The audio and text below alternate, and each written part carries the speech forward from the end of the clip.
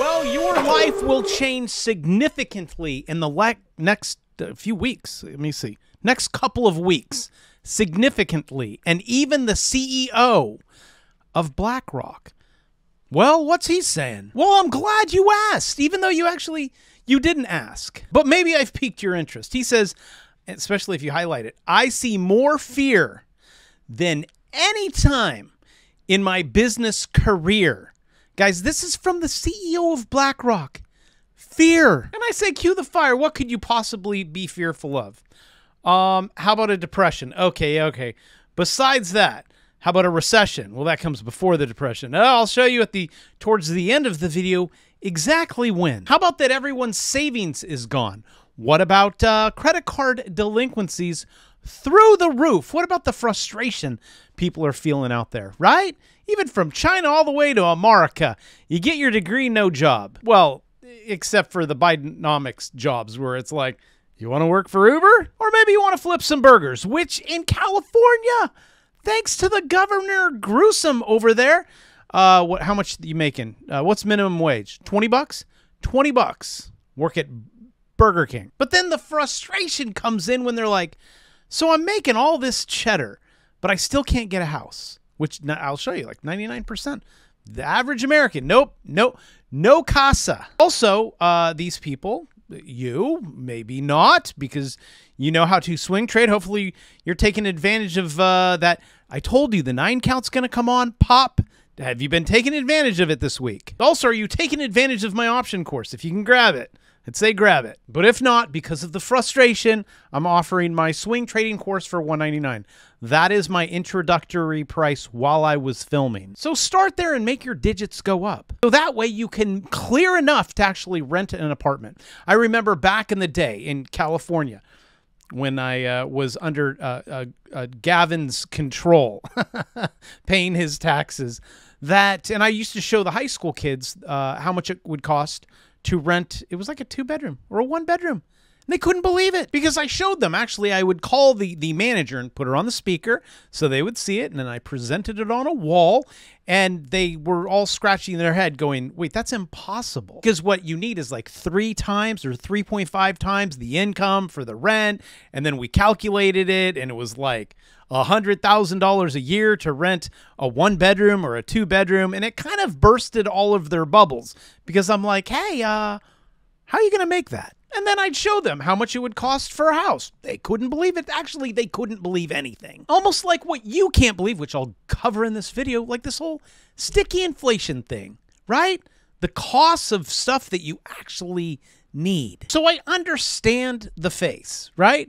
The face of fear, the face of what is to come. And the people like you, if you subscribe, or me, that understands macro, uh, it's really dark and bad out there. And now we're stuck in this weird, like, stagflation, can't afford anything. Um, is can we get growth? Is that even possible? And the government just keeps cooking the books and telling us is everything's great. Look at this.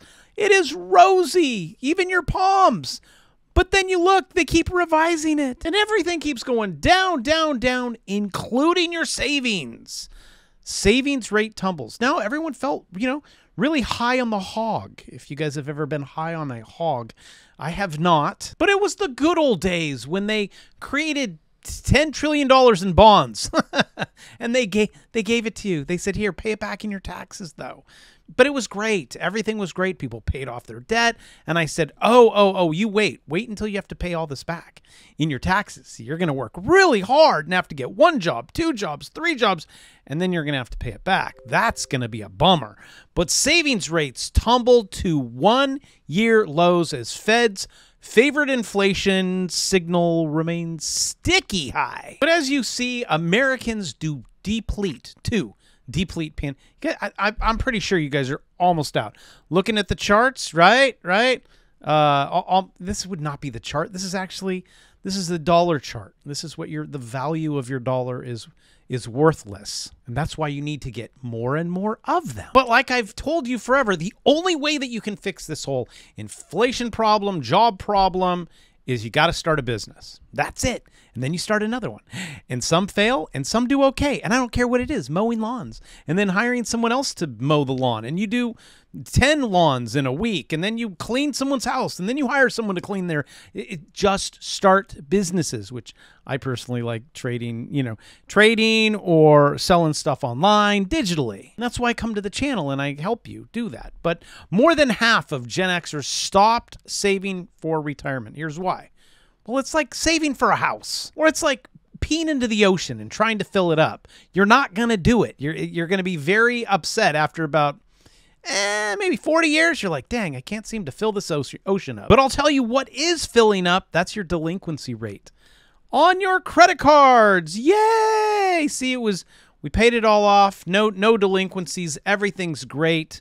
Well, not, not so much anymore. And if I do a year over year, uh, this thing is through the roof. And I'm glad you asked. I will go ahead and show it to you. Look, there's the there's the 90s, the good old 90s, right before the 80s, where they had interesting music. Uh, here we go. 2016, 17, 18, 19, 20. Everything's okay. And oh, also, um, I know I mentioned uh, some swing trades in this video, so let me get rid of myself and uh, drop down and uh, make those trades for you. Okay, so on that uh, S&P 500, I want to uh, actually want to grab my drawing tool so I can show you what we're doing here. Do a little brush. Um, see that line? Well, that's kind of a weak line. Sorry, my voice. I'm losing my voice. Um, you got you got really close. All right. Actually, post market, uh, it moved up slightly, so you could see a reversal on the S&P 500 what you're going to want to see is a full candle close right above that, uh, right above the the Bravo 9. So that that's one thing. Another one that I wanted to show you, which was in my watch list. This is in my um, my bull market watch list. Uh, is you guys need to be ready to take some profit. Also, if you guys are interested, grab it. Uh, let's let's uh, let's have some fun together. So on this one, I'm still in my drawing tool. Um, in in that zone, well, what what you're not seeing is that you got a nine.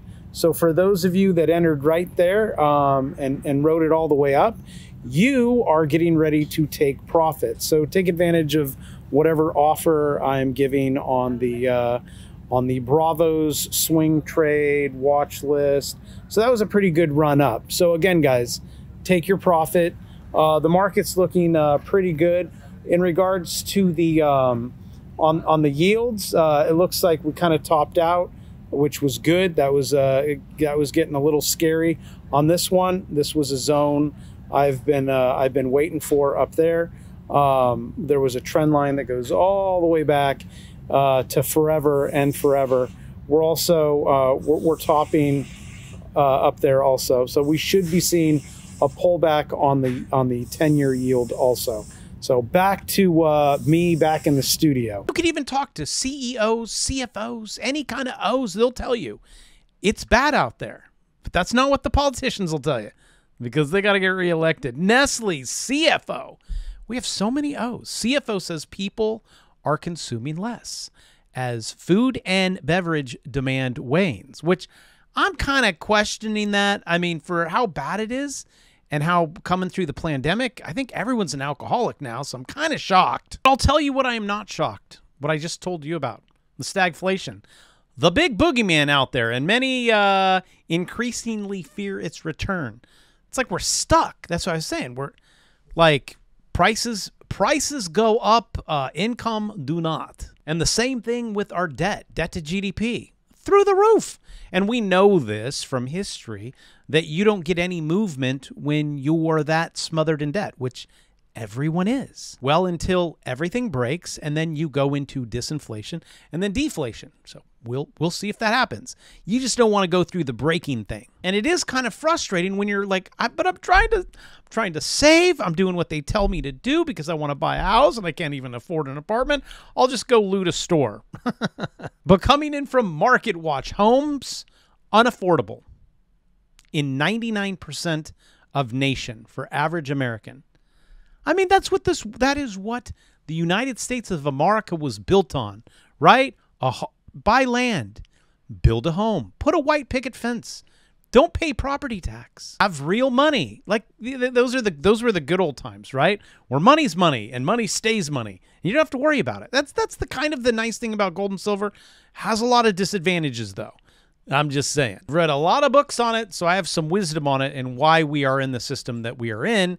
But this one's going to end too in a fiery dumpster. But to be able to save money and buy a house for $5,000 and and only have one person working, that was great. Well, times have changed now, hasn't it? That darn debt system that we're all in and everything's debt, debt, debt, debt, debt, debt. If you pay it off, we all die. Actually, it's mathematically impossible. Because, like what I've said a hundred million times, money in this system is only debt. You go into one of the big banks and you say, I want a loan. They say, How much? $1 trillion? Poof, right out of thin air. Do you have anything on your balance sheet? No, but we do now because you promised to pay that 1 trillion back with interest. Oh, hey, look, more money. So for every day that we are in this cycle, every day people get more and more upset until they burn it all down. I just don't want to be around when it happens. A third of all workers say they'd quit or find a new job if they were asked to return to the what? To the Bravo? No. No, it's back to work. You won't do it. No matter how we look at this, how we cut this cake up, I don't I don't see any fixes. I, I see no solutions. People don't want to work. Uh, they're, they're not going back to the office. I don't know what what's going to fix this. And like what I said at the beginning, this isn't going to fix it. Uh, minimum wage for fast food workers jumps 30% to $20 an hour in California. I bet everyone wants to run out there and, and open new McDonald's, right? Paying uh, workers 20 bucks. This is a 14 and a half year old making $20 an hour. And then there's overtime. So now saying like a dollar just isn't what it used to be. Talk about inflation in that environment. Good job, Gavin. I'm sure you'll get a lot of votes from uh, the 14 and a half year olds. But now the question is, how long, Bravo, until uh, let, us just let's get through this, right? Let's let, burn it down. Win depression, win recession. Well, if you take uh, the inverted yield curve back in the day, uh, let's let's go back a little bit. Let's go back in time, seven months, and then let's move forward. When it inverts again, 19 months. Let's jump over a little bit 24 months. And then seven months. And now, well, I'm in the way. The one we are currently in is Cue the Fire 14, 14 months. We're in it for 14. What do you guys think? We got 10 months left? Six months? Eight months? You tell me. How long until full blown? I know. Eh, we'll have two negative prints of GDP. They'll revise it down. Then they'll be like, well, it was a revision down. We can't count that. But honestly, what do you guys think in the comment section? Because I read everything that you guys say. Um, also, thank you for supporting me every day that I that I come here, uh, hanging out in your house or maybe your bathroom. Maybe you're sitting there, you're you're on the toilet, and there I am. And I won't look down, and I won't make any jokes. It's fine. I get it. It's cold in your bathroom, and uh, I love you. I I'll see you tomorrow.